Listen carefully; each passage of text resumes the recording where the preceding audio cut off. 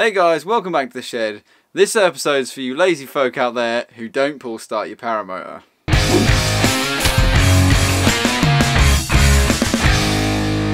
So the first thing you're going to want to do is you're going to want to undo the two bolts that hold the back cap in. Mine are a couple of 8 mils and these are long screws that run the full length of this starter motor. Now the reason I'm servicing my starter motor is mainly because it was a little bit sluggish starting when I first got the paramotor.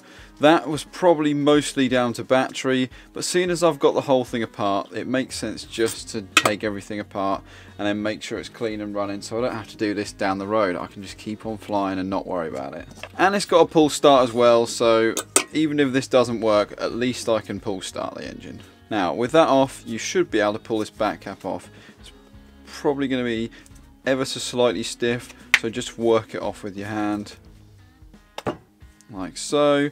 That shows you all of your brushes and the solenoid inside. So, as you take this apart, carefully take bits out and make sure you can see where they go. Um, there's no point in rushing this because otherwise you'll lose bits. Once you've taken this end cap off, you should be able to pull this front piece off now and it should come out like that. So a couple of main reasons why these start motors go bad is because this contact point at the top here gets all clogged up and then these brushes on here also wear down so you aren't getting a good contact between the two. For the most part on paramotors, you'll probably find that these little pieces in here which are called your brushes are probably going to be alright. They're not getting as heavy uses like a car does or a motorbike does because let's face it most of us are taking our paramotors out on the weekend. So if these brushes are worn down to a nub and fallen out of these cases, you can replace them, you'll just need to snip off this copper wire here and resolder on a new brush. A crude way to check the life of these brushes, if you don't have the specs with you, is to push them back into their holder and then look into the gap to see how far they've worn down. Considering there's quite a lot of material poking out the end here, I'm pretty happy with that and all I'll need to do this time is clean up these plates. So as you can see, this top piece up here is currently black. We need to remove all of that crap off of there and return it back to the copper colour it should be. Cleaning this all up in turn will create a better connection between it and the brushes when it's spinning round. There's several ways to clean this up.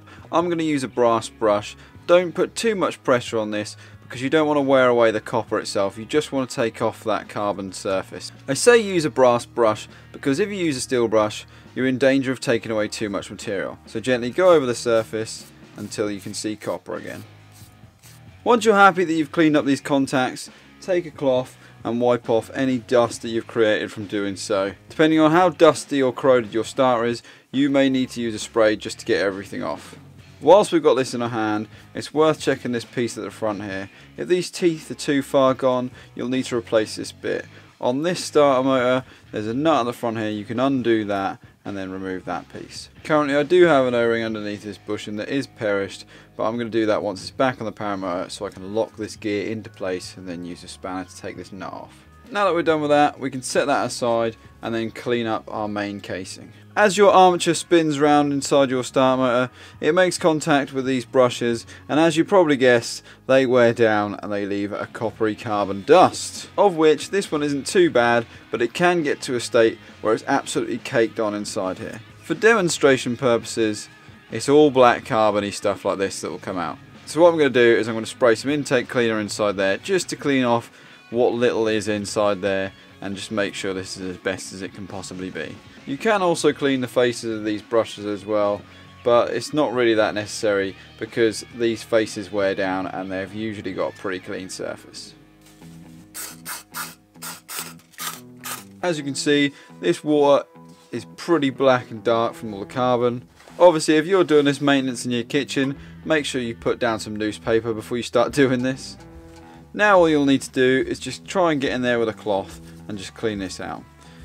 Sometimes you'll be able to remove this plate with all these brushes on. Mine's held in with a pop rivet, so I'm not about to drill that out. I'm going to clean this up as best I can, let it dry, and whilst it's doing that, I'm going to clean this cap out, and then we can put it all back together again. As you can see from this, there's plenty of carbon in there. And one final check that's worth doing is making sure that your bearing isn't binding or grinding inside this unit.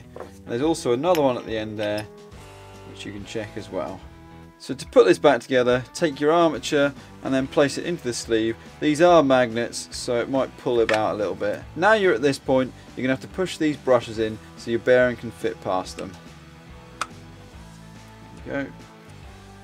Now you want the armature itself to go past. With a little bit of finessing, you should be able to get your armature back between these brushes. Most of the time they've only got two. This one's got four, which made it pretty damn awkward. But if you're Vishnu, you're probably going to be alright. So let's close the casing back up and then get the cap back on. Before you put the cap back on, make sure everything's spinning as it should. Usually these will have an indicator of which way around this cap should go, but it's quite easy to tell if you line up the two holes on the back here with the two holes that go straight through the starter motor. So place the cap back on, and then put your bolts in.